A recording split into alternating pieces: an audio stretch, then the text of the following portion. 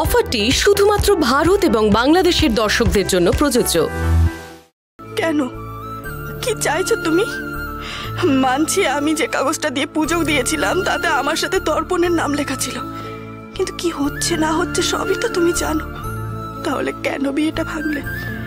এর জন্য আমার দাদাকে সবার সামনে কত অপমানিত হতে হলো। আচ্ছা মানত করে ওই গাছে কাগজটা বাঁধা হয়েছিল বলেই কি তুমি এমন করলে? আবার বিয়ে ঠিক হলে আবার কি তুমি এমন করবে? কিন্তু আমি আর তা হতে দেব না। তাই আজ অনেক সাহস নিয়ে একটা পাপ করব বলে তোমার সামনে এসে দাঁড়িয়েছি। গাছে বাঁধা ওই কাগজটা খুলে নিয়ে গিয়ে আজকে অনেক দূরে কোথাও ফেলে আসব। আর তার জন্য তুমি আমায় যা শাস্তি দেওয়ার দিও। দয়া করে এই শাস্তির ভাগিদার অন্য কাউকে করো না। দাদাকে তো নয়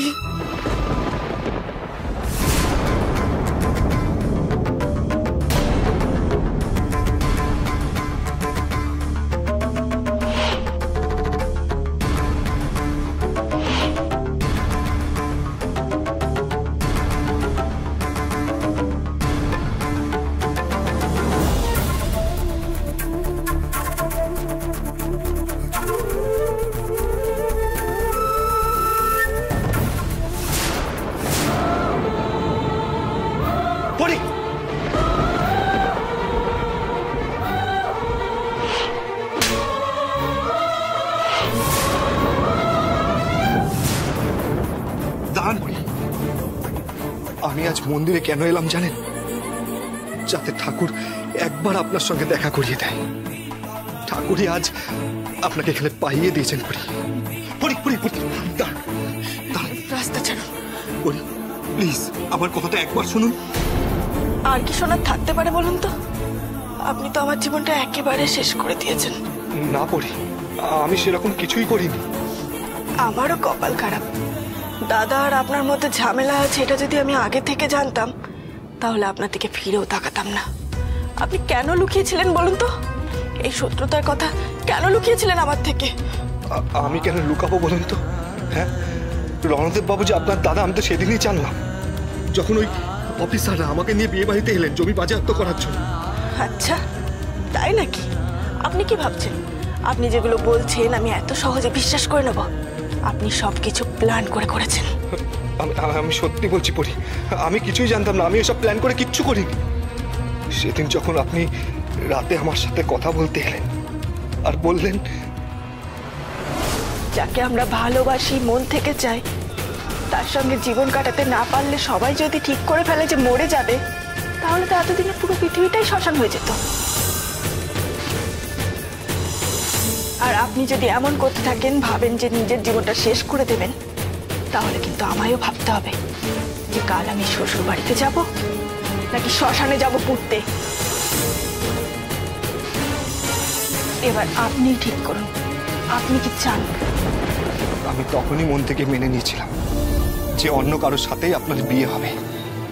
সেটা আমি নিজের চোখে দেখতে পারব না বলে কাউকে কিছু না বলেই বিয়ে শুরু হওয়ার আগে আমি বেরিয়ে গেছিলাম।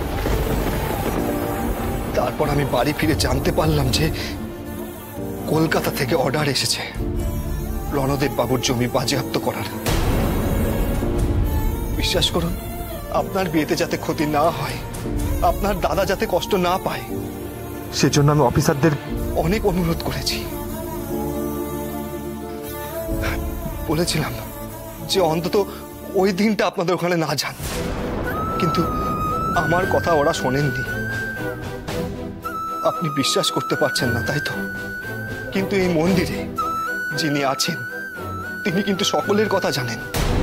কেউ যদি ভুল করে, ঠাকুর তাকে ক্ষমা করবে না। এটা আপনি বিশ্বাস করেন তো? আমি ঠাকুরের দিব্যি নিয়ে বলছি, আপনার পরিবারকে বিপদে ফেলার কথা বা আপনার বিয়ে ভাঙার কথা আমি সত্যিই ভাবিনি পড়ি। আপনি আমাকে বিশ্বাস করুন। অনেক হয়েছে। এবার থামুন। অনেক বলেছেন আপনি। আপনি যেদিন থেকে আমার জীবনে এসেছেন সেদিন থেকে আমার জীবনের শান্তি উড়ে গেছে। হাত জোর করে বলছি বিশ্বাস করুন আমি আর পাচ্ছি না। আমি আর পাচ্ছি না আমাকে রেহাই দিন। শুধু আপনার জন্য আমরা যা কষ্ট পেয়েছি আমার পরিবার যা অপমান সহ্য করেছে এই জীবনে তা হয়নি। আর আগামী সাত জন্মেও তা হবে না। আমি আর কিচ্ছু বলতে হবে না। কারণ আমি শুনব না। শেষে একটাই কথা বলছি। দয়া করে আমাকে আর ফোন করবেন না। আরেকটা কথা রাস্তায় এসে আমার সঙ্গে কথা বলার চেষ্টা করবেন না। আর সেটা করলে আমরা আর চুপ করে বসে থাকব না। পরি পরি আমার আমার কথাটা শুনুন। আমায় বিরক্ত করবেন না। ভগবান আমি কি করব? এই অফিসার এই। জমি হরপ করে নিয়ে পরিমায়ের বিয়েটা বন্ধ করে দিয়ে তাতেও তোমার শান্তি হয়নি? তুমি আবার মন্দিরে এসে পরিমাকে জ্বালাতন করছ? আমি জ্বালাতন করতে আসিনি। পরি আপনি দয়া করে ওনাকে বুঝিয়ে বলুন না। কি হলো পরি? আপনি চুপ করে আছেন কেন? কিছু বলুন। আমাদের গ্রামের মেয়েদের তুমি কি সস্তা মনে করেছ নাকি আ? তুমি ভালো কথা এখান থেকে যাবে নাকি লোক ডেকে পঞ্চায়েত করে তোমায় আচ্ছা করে দেওয়ার ব্যবস্থা করব? যাও যাও এখান থেকে বেরিয়ে যাও বলছি। আবার তাকিয়ে হাঁ করে দেখছ কি? যাও বেরিয়ে যাও বলছি।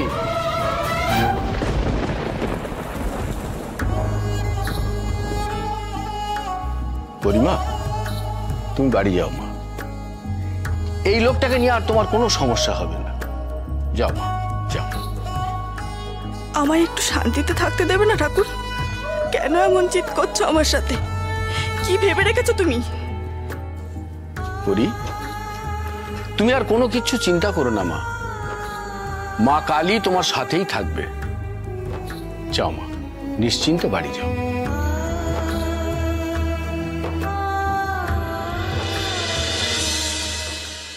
প্রধান সাহেব প্রধান সাহেব? কি ব্যাপার আপনারা? কি ব্যাপার? সবাই একসঙ্গে হাজির? না মানে আমরা তো আপনার পাশে দাঁড়াতে পারলাম না। গ্রামের লোকের যে কোনো সমস্যায় আপনি সব সময় পাশে এসে দাঁড়ান। তাই আপনার বিপদের দিনে আমরা দূরে দাঁড়িয়ে চুপ করে থাকব নাকি? তাই আপনার পাশে এসে আমরা দাঁড়াতে চাই। আমাদের টাকার জন্য আপনি জামিনে সই করেছিলেন। আর তার জন্য আপনার পুরো পরিবার সমস্ত সম্পত্তি হারিয়ে পথে বসেছে। এখনও কি আমরা চুপ করে থাকতে পারি? আপনি বলুন। এই জন্য আমাদের সমস্ত জমির কাগজপত্র আমরা এনেছি। হরিদা দলিলগুলো দাও না। এই নিন জমির সব কাগজগুলো এখানে আছে।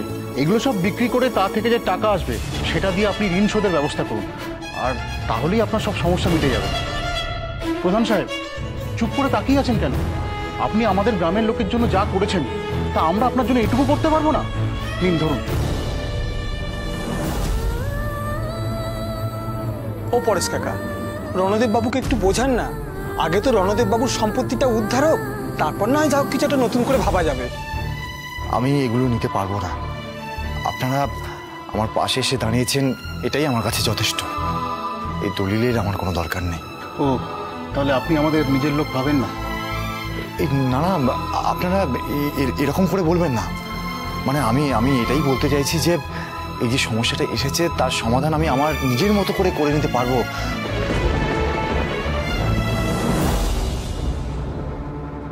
কি বলছেন আপনি? দেখুন আজকালকার দিনে সাহায্য করার মানুষের বড় অভাব কিন্তু তার বদলে আমি না চাইতে আপনারা আমার পাশে এসে দাঁড়িয়েছেন। এটাই আমার কাছে অনেক। আপনাদের ভালোবাসার থেকে আর বেশি কিছু চাওয়ার নেই আমার। এই পৃথিবীতে সব থেকে বড় শক্তি কি জানেন? মানুষের সমর্থন, যা আমার সঙ্গে আছে। এই গ্রামের সবাই এসে আমার পিছনে দাঁড়িয়েছে। এটাই তো সব থেকে বড় পাওনা আমার। এটাই আমার সব থেকে বড় শক্তি। আমার আবার কি চাই? শুধু আমার একটাই দুঃখ রয়ে গেল। আমার বোনের বিয়েতে আপনাদের আমি হাসি মুখে বিদায় করতে পারলাম না।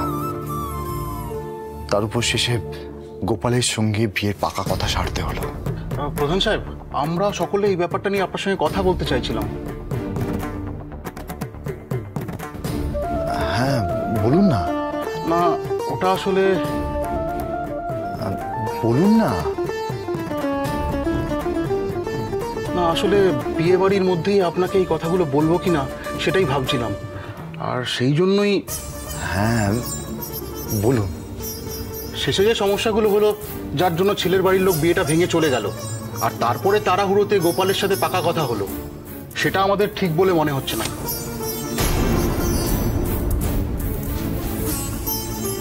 গোপালের কি যোগ্যতা আছে? সেটা তো আমরা সকলেই জানি। তাছাড়া এই বিয়েটা ভাঙার জন্য গোপাল কম অন্যায় করেনি সেটা আমরা সকলেই দেখেছি। সেই অবস্থায় তাড়াহুড়ো করে গোপাল আর পরীর পাকা কথা বিপদ কমার থেকে তো বেড়ে গেল। ভাগ্যিস পরেশ কাকা মাঝখানে ঢুকে বিয়েটা আটকে দিল নাহলে তো পরীর জীবনটা নষ্ট হয়ে যেত। আমাদের সকলেরই মনে হয়েছে এই ব্যাপারটা নিয়ে তাড়াহুড়ো করে একটা সিদ্ধান্ত নেওয়া হয়েছে যেটা ভুল। তাড়াহুড়ো করে কোনো সিদ্ধান্ত নেওয়া হয়নি দাদা। যা হয়েছে আমার ইচ্ছেতেই হয়েছে। ইচ্ছে? হ্যাঁ। আমার যাতে আর আর কোনোভাবে অপমানিত না হতে হয় সেই জন্যই আমার পিসি আমার পাশে এসে দাঁড়িয়েছিল। আর এই পাশে দাঁড়ানোটাকে যে আমার সম্মান করতেই হতো, এই গ্রামে কত লোককে দেখেছি। বিয়ের আগে একরকম, বিয়ের পরে অন্যরকম। বিয়ের আগে কেউ কেউ ভালো ছিল, বিয়ের পরে খারাপ হয়ে গেছে কিংবা বিয়ের আগে খারাপ ছিল, বিয়ের পরে ভালো হয়ে গেছে। গোপালে সেই রকম নিশ্চয়ই আমার বোনের সঙ্গে বিয়ে হলে ভালো হয়ে যেতে পারে তো, তাই না? আর সেই জন্য আমি আমি বিয়েতে মত দিয়েছি। হ্যাঁ গোপাল গোপাল বদমায়েশ গুন্ডার মতো ব্যবহার করে, আমি আমি জানি। কিন্তু আমার বিশ্বাস ওর সঙ্গে বিয়ে হলে গোপাল পাল্টে যাবে। আমি যেমন আমার পরীকে ভালোবাসি, গোপালও কিন্তু কম ভালোবাসে না। আমি জানি গোপালের ভালোবাসাটা খাঁটি, আর সেই জন্যই আমি আমি মনে করি পরীর সঙ্গে যদি বিয়ে হয়, ও ও পাল্টে যাবে। আমরা তো সবাই চাই গোপাল গোপাল ভালো মানুষ হয়ে উঠুক, তাই না? পরেশ কাকা পরেশ কাকা এই বিয়েটা বন্ধ করে একদিক থেকে ভালোই করেছে। গোপাল পরীকে কতটা ভালোবাসে, সেটারও প্রমাণ হয়ে যাবে। আর ও ও কতটা ভালো হয়ে উঠতে পারছে, ওর যোগ্যতাটা ও নিজে প্রমাণ করতে পারবে। এরপর গোপাল যদি সত্যি ভালো হয়ে ওঠে ও যদি সত্যি পরীর যোগ্য হয়ে ওঠে তাহলেই পরীর সঙ্গে আমি ওর বিয়ে দিয়ে দেবো। গোপালের উপর আপনার যখন এত বিশ্বাস তখন আর আমরা কি বলব বলুন? দেখুন আপনি যেভাবে বলেছেন গোপাল যদি সেইভাবে মানুষ হয়ে উঠতে পারে তাহলে পরির সঙ্গে বিয়েটা হতেই পারে। এতে সবাই খুশি হবে। আর আমরাও চাই পরি খুব খুশি হোক। এই তো পরিমা এসে গেছে। পরি কোথায় গেছিলিস? মন্দিরে গেছিলাম। মন্দিরে একা একা? রণদেব বাবু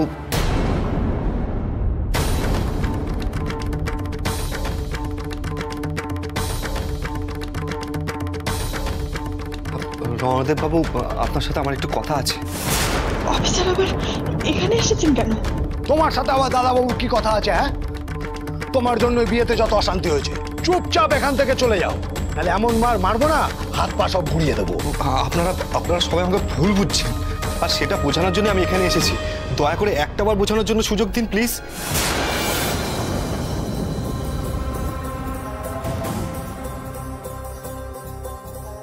তুমি যে কি ধরনের লোক সেটা আমরা বিয়ে বাড়িতে বুঝে গেছি।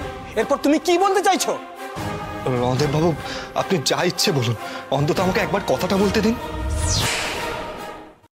আমার উপরে যে অফিসাররা আছে, আমি তাদেরকে অনেকবার রিকোয়েস্ট করেছি যে এখন বিয়ের সময় কোনো অ্যাকশন নেবেন না।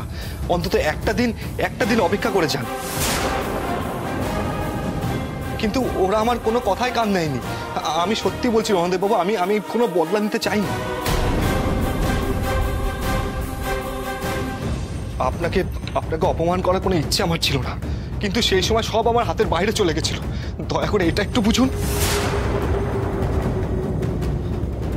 তোমাকে আবার কি বোঝার আছে? তুমি যেদিন এই গ্রামে প্রথম এসেছিলে সেদিনই তোমাকে বোঝা হয়ে গেছে। এখন তুমি সাফাই গাইছো সাফাই!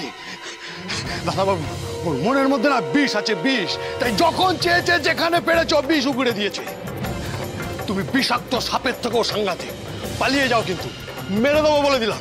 পালিয়ে যাও। আপনারা বুঝতে পারছেন না। দাদাবাবু পরেশ কাকা তোমরা দুজন দাঁড়িয়ে দাঁড়িয়ে দেখছ এখনও বড় বকে বকে চলে যায়? একবার শুধু আমাকে বলো। ওকে মেরে আমি সব অপমানের শোধ তুলবো। নাড়ো নাড়ো দাঁড়া দাঁড়া। অফিসার আমি জানি না আপনি কাজটা কেন করছেন। আমার সঙ্গে পুরনো শত্রুতার জন্য নাকি অন্য কোনো কারণে। আমি জানি না জানতে চাইও না। আমি আপনার মতো নিজ কাজ করতে পারব না। ভালোই ভালোই বলছি এখান থেকে বেরিয়ে যাবে আমি অনেকক্ষণ থেকে নিজেকে আটকে রেখেছি। এরপরে না আমি নিজেকে না না নাড়ুকে আটকে রাখতে পারব। আমার কথাটা শুনুন প্লিজ আমার এই অফিসার এখানে এসেছে?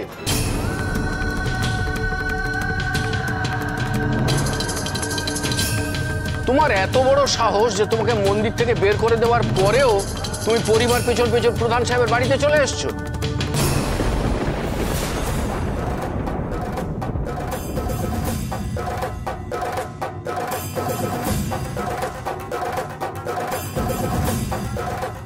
কি বলেন আপনি?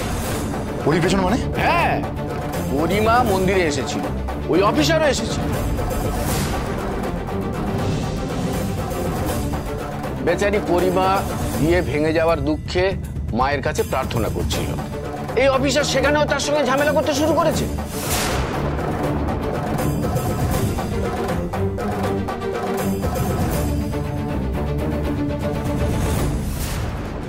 আমি তো ব্যাপারটা দেখেই ধমক দিয়ে গ্রামের লোকজন দিয়ে পঞ্চায়েতি করাবার ভয় দেখিয়ে এই অফিসারকে পাঠিয়ে দিই। অবশ্য আমার একটা সন্দেহ ছিল যে পরিমাকে রাস্তায় একা পেয়ে পাছে না বিরক্ত করে। তাই আমিও পরিমার পিছন পিছন এলাম। এসে দেখি এই অফিসার এখানে এসে হাজির। কত বড় সাহস চিন্তা করুন। হ্যাঁ আমি এসেছি, কিন্তু পরির পেছনে নয় অন্য কারণে। আপনারা আপনারা একটু বোঝার চেষ্টা করুন। আমার কিছু কথা বলার আছে, তাই।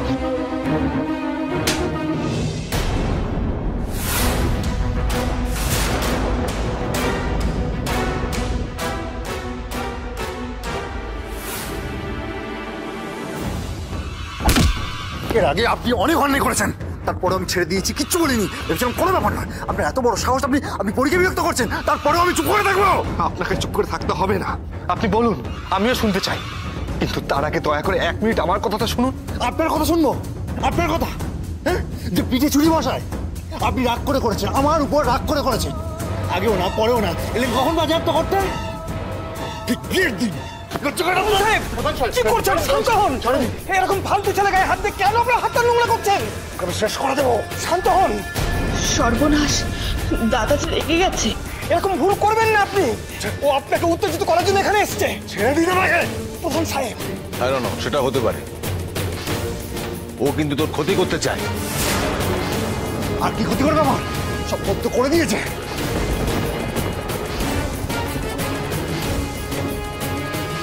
অফিসার আপনি এখনও কেন দাঁড়িয়ে আছেন।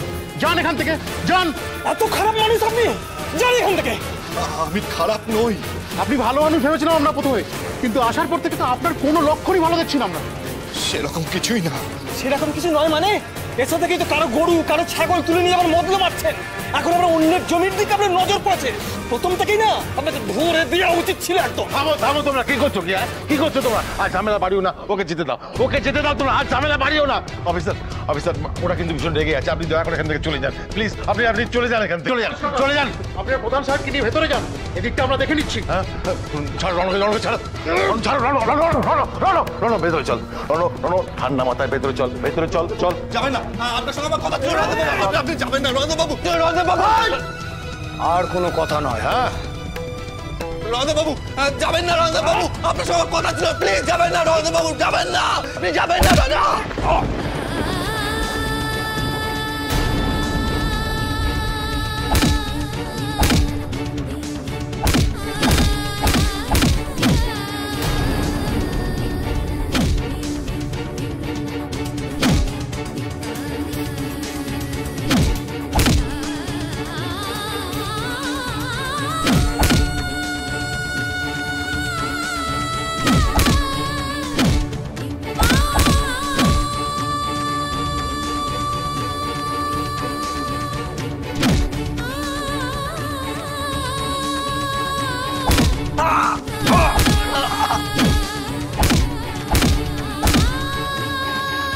ছাড়ো ছাড়ো। অনেক হয়েছে। মরে টরে গেলে আবার উটকো ঝামেলা হবে। এই শোন এরপর যদি তোকে এখানে দেখি না একদম ডেড বডি করে বাড়ি পাঠাবো। চল চল চল। চল।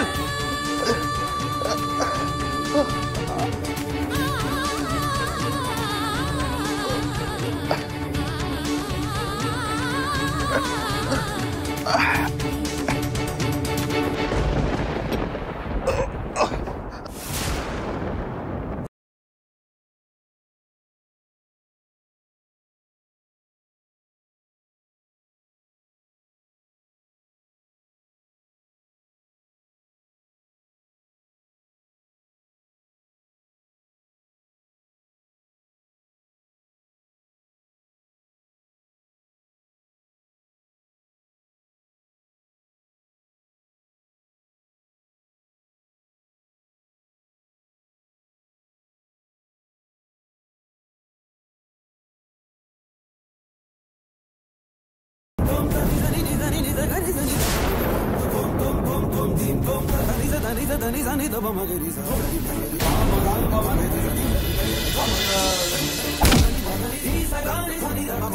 Ni